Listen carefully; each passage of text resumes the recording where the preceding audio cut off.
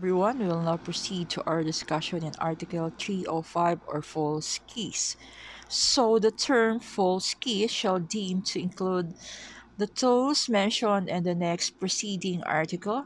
Number two, genuine keys stolen from the owner. Number three, any keys other than those intended by the owner for use and the lock forcibly opened by the offender.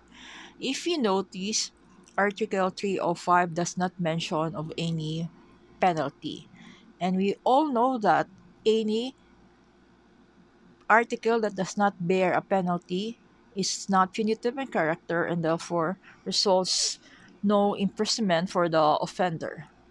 However, in the paragraph 1 of Article 305, it says there the tools mentioned in the next preceding article. So this refers to Article 305, 304. And 304, 304 mentions possession of picklocks or similar tools, and any person who shall without lawful cause have in his possession picklocks or similar tools, especially adapted to the commission of the crime of robbery, shall be punished by arresto mayor in its maximum period to prision correccional in its minimum period. With this, we can surmise that only paragraph 1 of Article 305 bears a punishment of arresto mayor uh, to prision correccional. The preceding article also, Article 304, mentions picklocks or similar tools as are what are referred to as false keys, false keys, and that paragraph 2 mentions genuine keys is stolen from the owner. This is also a false key.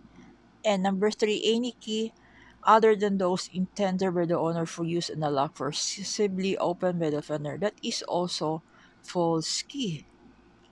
So the question now is whether a person found in possession of a genuine key is sto- stolen from the owner can be held liably criminally liable. Well, since this article provides no penalty, therefore the possession of the false keys mentioned in paragraph 2 and 3 of Article 305 is not punishable. We have here uh, an example of a problem. So, the owner, before leaving for another province with his family, entrusted the key of the main door of a house to another neighbor, B. And then one day, while the owner of the house was away, the person entrusted with the key used the key to enter the house and stole the jewelry inside the house. Is he liable under Article 305, false use of false keys? No, because the genuine key was not stolen from the owner.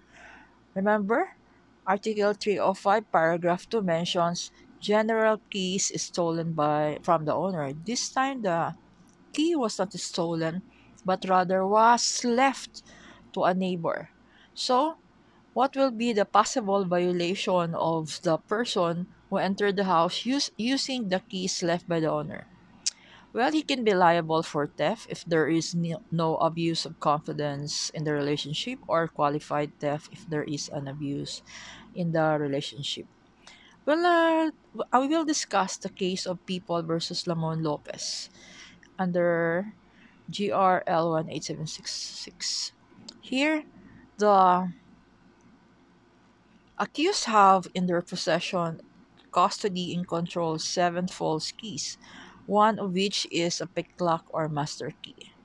Now, the issue here is whether the crime of illegal possession of false keys is the proper charge. Supreme Court held yes, false keys include the tools mentioned in the next preceding article. So the seven false keys are included in Article 304 and it is mentioned there picklocks or similar tools. So this is especially adapted to the commission of the crime of robbery. It follows therefore that the term false keys appearing in the information is correct as it sufficiently describes such tools. We'll now listen to the report of Dan Andrew Orcullo in false keys.